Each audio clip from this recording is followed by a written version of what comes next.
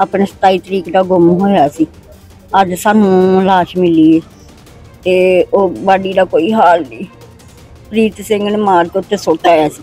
ਇਹ ਗੋਖੋਵਾਲ ਪੁਲ ਦੇ ਨਾਲ ਇਹ ਭੰਗ ਦੇ ਵਿੱਚ ਸੁੱਟੀ ਗਈ ਆ ਕਿ ਥੋੜਾ ਬਾਡੀ ਜਿਹੜੀ ਆ ਬਿਲਕੁਲ ਹੀ ਖਰਾਬ ਹੋ ਚੁੱਕੀ ਆ ਲੱਤਾਂ ਵਗੈਰਾ ਪਰੇ ਵੱਜੀਆਂ ਨੇ।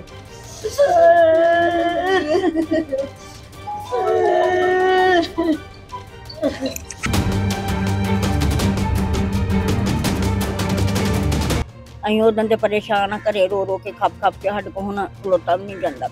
ਕਿੰਨੀ ਕੁ ਉਮਰ ਹੈ ਇਹਦੀ? ਉਹਦੀ 25 ਸਾਲ। ਇਹ ਜਿਹੜਾ ਹੈਗਾ ਇਹ ਮਤਲਬ ਇਹ ਮੇਰੇ ਨਾਲ ਸੀ ਠੀਕ ਹੈ ਤੇ ਇਹਨੂੰ ਜਿਹੜਾ ਹੈਗਾ ਇਹ ਇਹ- ਇਹਦੀ ਜਿਹੜੀ ਆ ਮੌਤ ਹੋ ਗਈ ਆ ਇਹਦੀ ਜਿਹੜੀ ਲਾਸ਼ ਸੀ ਉਹ ਮੈਂ ਇੱਥੇ ਜਿਹੜੀ ਝਾੜੀਆਂ ਵਿੱਚ ਲਪੋਤੀ ਸੀ। ਅਮਰਜੀਤ ਕੋ ਕਿਹੜਾ ਪਿੰਡ ਜੀ? ਮੋਲੋ ਵਾਲੀ। ਤੁਹਾਡੇ ਬੇਟਾ ਤੁਹਾਡਾ ਗੁੰਮ ਹੈ ਕੋਈ 11 12 ਦਾ ਕੀ ਮਾਮਲਾ ਜੀ? ਹਾਂਜੀ ਅਜੇ ਕੋਈ ਨਹੀਂ ਮਾਮਲਾ ਮੁੱਕਾ। ਅੱਜ ਲਾਸ਼ ਮਿਲੀ ਜੀ। ਆਪਣੇ 27 ਤਰੀਕ ਦਾ ਗੁੰਮ ਹੋਇਆ ਸੀ। ਅੱਜ ਸਾਨੂੰ ਲਾਸ਼ ਮਿਲੀ ਤੇ ਉਹ ਬਾਡੀ ਦਾ ਕੋਈ ਹਾਲ ਨਹੀਂ। ਪ੍ਰੀਤ ਸਿੰਘ ਨੇ ਮਾਰ ਕੇ ਉੱਤੇ ਸੁੱਟ ਆਇਆ ਸੀ। ਕਿੰਨੇ ਮਾਰਿਆ? ਤੁਹਾਨੂੰ ਕਿਤੇ ਸ਼ੱਕ ਹੈ? ਪ੍ਰੀਤ ਸਿੰਘ ਮਲੂਕ ਵਾਲੀ ਦਾ। ਹਾਂਜੀ। ਉਹਨੇ ਮਾਰ ਕੇ ਸੁੱਟ ਛੜਿਆ ਜੀ। ਅੱਜ ਤੁਸੀਂ ਥਾਣੇ ਪਹੁੰਚੇ ਥਾਣੇ ਵਾਲੇ ਫਿਰ ਤੁਹਾਨੂੰ ਕੀ ਕਿਹਾ? ਥਾਣੇ ਵਾਲਿਆਂ ਅੱਜ ਕੁਛ ਮਸਲਾ ਹੱਲ ਨਹੀਂ ਕੀਤਾ ਲਾਸ਼ ਲੱਭ ਕੇ ਦਿੱਤੀ ਸਾਨੂੰ। ਹਾਂਜੀ। ਹੁਣ ਤੁਸੀਂ ਚਾਹੁੰਦੇ ਜੇ ਪ੍ਰਸ਼ਾਸਨ ਤੋਂ ਕੀ ਮੰਗ ਕਰਦੇ? ਜੀ ਸਖਤ ਸਜ਼ਾ ਹੋਣੀ ਚਾਹੀਦੀ ਹੈ। ਕੀ ਲੱਗਦਾ ਕਿ ਤੁਹਾਨੂੰ ਤੁਹਾਡਾ ਬੇਟਾ ਜਿਹੜਾ ਨਸ਼ੇ ਦੇ ਹ- ਡੋਜ਼ ਨਾਲ ਮਰਿਆ ਕਿ ਕਤਲ ਨਹੀਂ ਨਹੀਂ ਭਾਜੀ ਕੁਛ ਨਹੀਂ ਹਿੱਸ ਕਰਦਾ। ਹਾਂਜੀ। ਉਹਨੇ ਲਾਈ ਹੋਈ ਤੇ ਮੈਂ ਕਹਿ ਨਹੀਂ ਸਕਦੀ।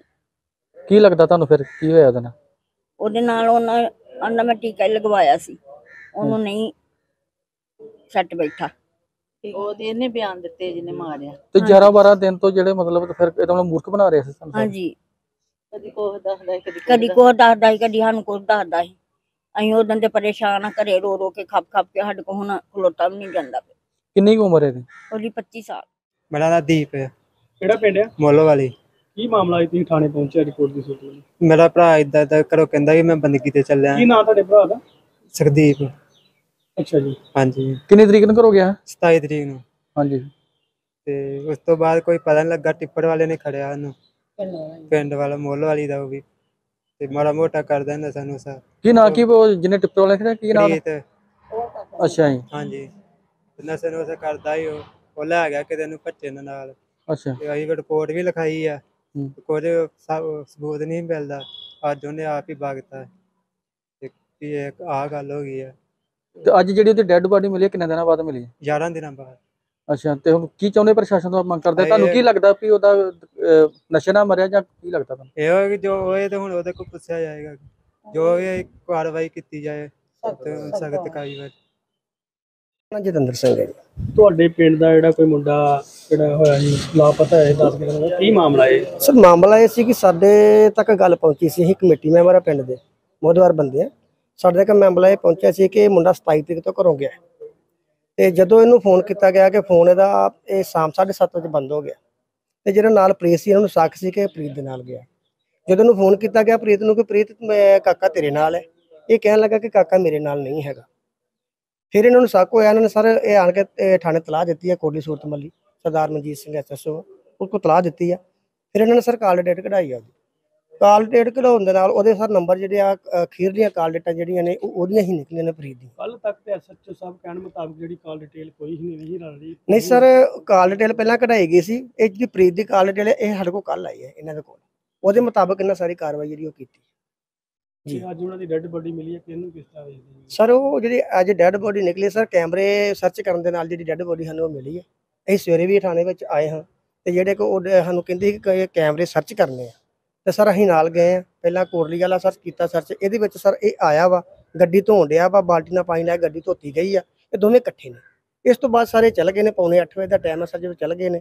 ਉਸ ਤੋਂ ਬਾਅਦ ਸਰ ਕਹਿੰਦੇ ਕਿ ਅਸੀਂ ਜਿਹੜੇ ਬਾਕੀ ਕੈਮਰੇ ਸਰ ਸਵੇਰੇ ਕਰਨੇ ਜਦੋਂ ਸਰਚ ਕੀਤੇ ਗਏ, ਸਰ ਕੈਮਰੇ ਸਰਚ ਕੀਤੇ ਨੇ, ਉਹਦੇ ਵਿੱਚ ਸਰ ਜਾ ਕੇ ਇਹਨਾਂ ਨੇ ਜਾ ਕੇ ਵੇਖਿਆ ਕਿ ਇਹ ਜਿਹੜੀ ਡੈੱਡ ਬੋਡੀ ਫਿਰ ਉਹਨਾਂ ਨੇ ਇਹਨੂੰ ਪੁੱਛਿਆ ਬੜੇ ਪਿਆਰ ਨਾਲ ਤੇ ਇਹਨੇ ਸਰ ਆਪੇ ਸਾਰਾ ਕੁਝ ਦੱਸ ਦਿੱਤਾ ਵਾ ਵੀ ਇਹ ਜਿਹੜੀ ਡੈੱਡ ਬੋਡੀ ਆ, ਮੈਂ ਇਹ ਓਵਰਡੋਜ਼ ਨਾਲ ਮਰਿਆ ਵਾ ਤੇ ਇਹਨੂੰ ਮਾਰਿਆ ਗਿਆ ਵਾ ਸਰ ਇਹ ਤਾਂ ਹੁਣ ਉਹਨੂੰ ਸਰ ਪੁੱਛ ਕੇ ਹੀ ਆ। ਬਾਕੀ ਇਹ ਬਕ ਗਿਆ ਕਿ ਮੈਂ ਮਾਰਿਆ ਇਹ ਸਰ ਪੁਲਿਸ ਨੂੰ ਨਾਲ ਲੈ ਕੇ ਉੱਥੇ ਗਿਆ ਵੀ ਜਿੱਥੇ ਡੈੱਡ ਬੋਡੀ ਸੁੱਟੀ ਆ। ਡੈਡ ਬੋਡੀ ਹੁਣ ਮਿਲ ਗਈ ਤੁਹਾਨੂੰ? ਸਰ ਉਹ ਡੈੱਡ ਬੋਡੀ ਉੱਥੇ ਮਿਲੀ ਆ। ਇਹ ਗੋਖੋਵਾਲ ਪੁਲ ਦੇ ਨਾਲ ਇਹ ਭੰਗ ਦੇ ਵਿੱਚ ਸੁੱਟੀ ਗਈ ਆ ਜੋ ਕਿ ਸਾਨੂੰ ਐਸਓ ਸਾਹਿਬ ਨੇ ਹੁਣ ਫੋਟੋਆਂ ਦਿਖਾਈਆਂ ਨੇ ਕਿ ਥੋੜਾ ਬਾਡੀ ਜਿਹੜੀ ਆ ਬਿਲਕੁਲ ਹੀ ਖਰਾਬ ਹੋ ਚੁੱਕੀ ਆ ਲੱਤਾਂ ਵਗੈਰਾ ਥੋੜੀ ਵੱਜੀਆਂ ਨੇ।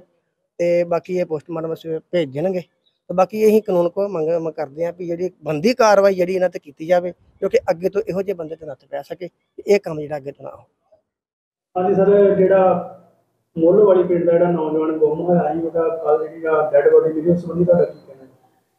ਇਹ ਜਿਹੜਾ ਮੁੱਲ ਵਾਲੀ ਪਿੰਡ ਹੈ ਜੀ ਇੱਥੋਂ ਦਾ ਸੁਖਦੀਪ ਸਿੰਘ ਇਲੀਸ ਹੈਗਾ ਸੀ ਕਾਕਾ ਪੁੱਤਰ ਸਰਵਣ ਦਾਸ ਇਹ 27 ਤਰੀਕ ਨੂੰ ਆਪਣੇ ਘਰੋਂ ਦੱਸ ਕੇ ਗਿਆ ਸੀ ਆਪਣੀ ਮਾਤਾ ਨੂੰ ਵੀ ਮੈਂ ਬੰਦਗੀ ਤੇ ਚੱਲਿਆ ਕਾਦੀਆਂ ਰਾਜਪੂਤਾਂ।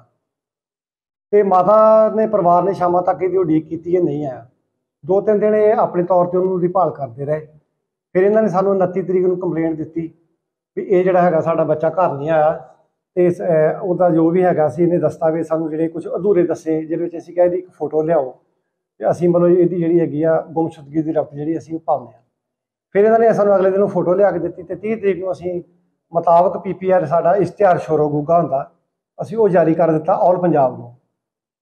ਇਹ ਆਪਣੇ ਤੌਰ ਤੇ ਭਾਲ ਕਰਦੇ ਰਹੇ ਫਿਰ ਅਗਲੇ ਦਿਨ ਇਹਨਾਂ ਨੇ ਸਾਨੂੰ ਆਣ ਕੇ ਕਿਹਾ ਵੀ ਸਾਨੂੰ ਜਿਹੜਾ ਹੈਗਾ ਸ਼ੱਕ ਆ ਵੀ ਸਾਡੇ ਹੀ ਪਿੰਡ ਦਾ ਜਿਹੜਾ ਹੈਗਾ ਆਪਣੇ ਹਰਪ੍ਰੀਤ ਸਿੰਘ, ਪੁੱਤਰ ਹੈਗਾ ਕੁਲਦੀਪ ਸਿੰਘ, ਸਾਨੂੰ ਉੱਤੇ ਸ਼ੱਕ ਆ ਵੀ ਉਹ ਜਿਹੜਾ ਕਿਤੇ ਲੈ ਨਾ ਗਿਆ ਹੋਵੇ ਸਾਡੇ ਬੱਚੇ ਨੂੰ ਇਹਦੀ ਚੰਗੀ ਤਰ੍ਹਾਂ ਇਹਦੀ ਪੜਤਾਲ ਕੀਤੀ ਜਾਵੇ।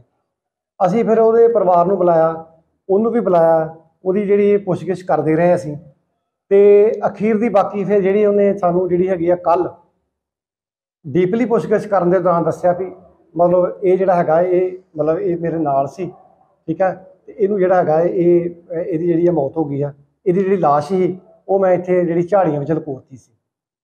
ਤੇ ਫਿਰ ਕੱਲ ਉਹਦੇ ਦੱਸੇ ਹੋਏ ਮੁਤਾਬਕ, ਫਰਦਿੰਗ ਸ਼ਾਹ ਮੁਤਾਬਕ ਅਸੀਂ ਉਹਦੀ ਜਿਹੜੀ ਗ੍ਰਿਫਤਾਰ ਕਰਕੇ ਉਹਨੂੰ ਉਹਦੀ ਲਾਸ਼ ਬਰਾਮਦ ਕਰਕੇ ਜਿਹੜੀ ਉਹ ਪੋਸਟਮਾਰਟਮ ਵਾਸਤੇ ਡੈੱਡ ਹਾਊਸ ਬਟਾਲਾ ਭੇਜ ਦਿੱਤੀ ਹੈ। ਤੇ ਮੁਕੱਦਮਾ ਵਿੱਚ ਜਿਹੜਾ 365 ਦਾ ਦਰਜ ਹੋਇਆ ਸੀ, ਉਹਦੇ ਵਿੱਚ ਵਾਧਾ ਜੁਰਮ 302 201 ਆਈਪੀਸੀ ਕਰਕੇ ਤਫਤੀਸ਼ ਆਰੰਭ ਦਿੱਤੀ ਹੈ ਬਾਕੀ ਹੁਣ ਉਹਦੇ ਪੋਸਟਮਾਰਟਮ ਦੀ ਰਿਪੋਰਟ ਆਉਣ ਤੋਂ ਬਾਅਦ ਜੋ ਵੀ ਅਗਲੇ ਸਰਕਮਸਟੈਂਸਸ ਹਾਲਾਤ ਹੋਣਗੇ ਉਹਦੀ ਜੈਸੀ ਸੂਰਤ ਹੋਗੀ ਵੈਸੀ ਕਾਰਵਾਈ ਕੀਤੀ। ਸਰ ਵੈਸੇ ਮੌਤ ਦੇ ਕਾਰਨਾਂ ਦਾ ਵੈਸੇ ਕੀ ਲੱਗਦਾ ਹੈ? ਇਹਦੇ ਕਹਿਣ ਮੁਤਾਬਕ ਦੇਖੋ ਮੌਤ ਦੇ। ਕਾਰਨਾਂ ਦਾ ਜਿਹੜਾ ਪ੍ਰਤੱਖ ਅਜੇ ਤੱਕ ਨਹੀਂ ਪਤਾ ਲੱਗ ਸਕਦਾ ਕਿਉਂਕਿ ਉਹਦੀ ਲਾਸ਼ ਜਿਹੜੀ ਆ ਬਹੁਤ ਗਲੀ ਸੜੀ ਆ। ਤੇ ਅਸੀਂ ਜਿਹੜਾ ਮੌਕੇ ਤੇ ਕੋਈ ਜਸਟੀਫਾਈ ਨਹੀਂ ਕਰ ਸਕਦੇ।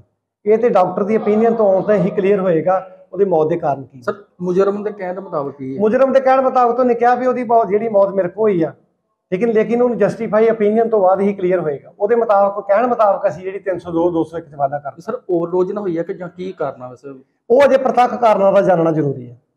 ਉਹ ਡਾਕਟਰੀ ਰਾਏ ਤੋਂ ਬਾਅਦ।